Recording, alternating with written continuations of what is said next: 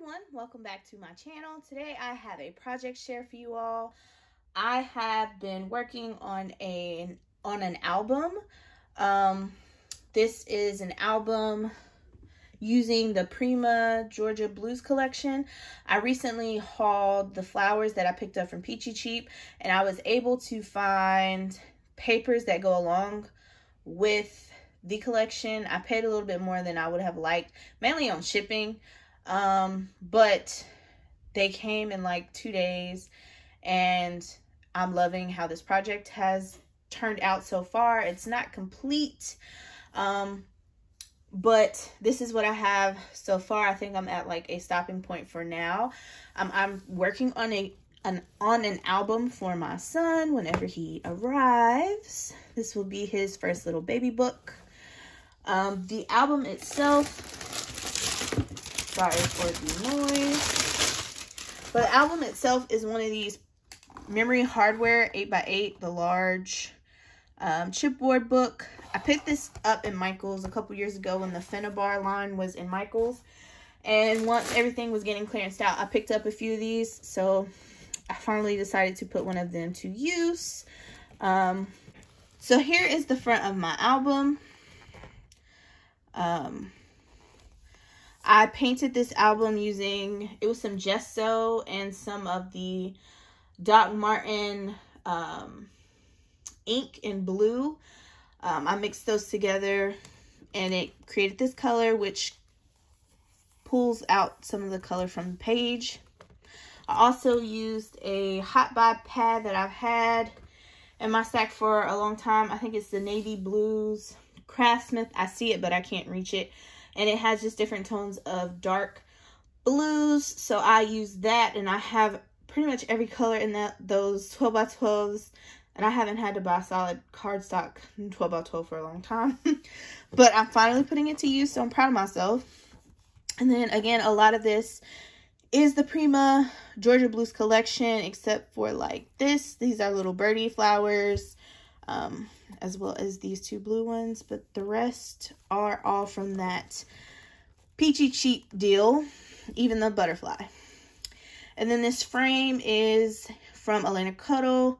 Um, I just painted it white. I think I actually just painted it with some white gesso. So it's not like all the way covered, but once I have a picture, I plan to go back in and maybe spritz it with color or something. I don't know. But I plan to have some type of picture here I don't know. And then I just layered one of the pattern papers there. And then I added a ribbon tie to this because I know it's going to be a chunky album by the time I'm done with it. Okay. So here are some of the scraps I have left. Um, I only used four patterns, like four. I ordered multiples of four of the double-sided pages. So you'll see a lot of repeat patterns like this is one page, this is from one page. Um, this is like a page. So I just been playing around with like the, making sure I'm using the front and the back to get the most out of what I had. I only purchased 12 sheets total. So I'm trying to optimize what I have because this collection is hard to find. So on the first, um, on the front cover, I just matted it with one of the navy blue um, sheets. And then using my scraps, I created this just basic pocket. And I can fit quite a bit in there. So the first page is another frame by Elena Cuddle. I painted it with the same paint that I used for the book itself. Added more flowers. Um, for the background page, Okay, so my process was I painted the book. I then went in and matted all the basic pages. So all of the like navies, I matted it. I did some touch-ups with the paint. And then I went in and I cut pages for the inner pieces. So all these, um, the book is 8 by 8 So I have like seven and a quarter, seven and three quarters by seven and three quarters. And then, you know, I go down from there. So then based on what I had left with the scraps um, is how I did the pot any pockets you see as well as the front and back page.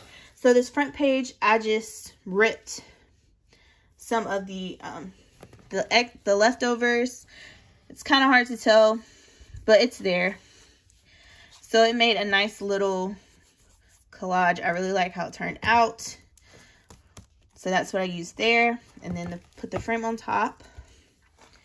These are just matted with the pattern paper that I had. This is just a basic page. This is the same as the cover. And then for these, I created a waterfall. I'm using some trim that I was gifted in one of my small wishes. Thank you again. Thank you again to the two ladies who blessed me.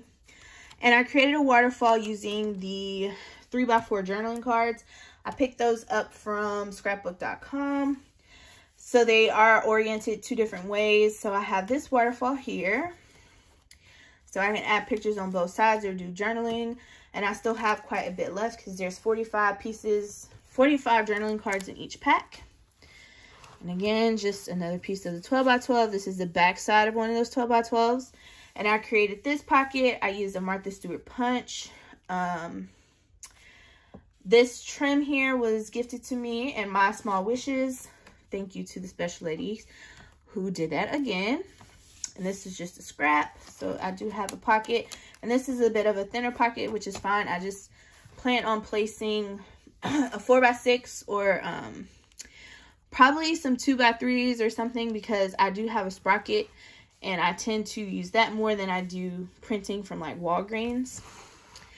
So then here I have a pocket so something can slide in like a big picture, family picture, something, I don't know.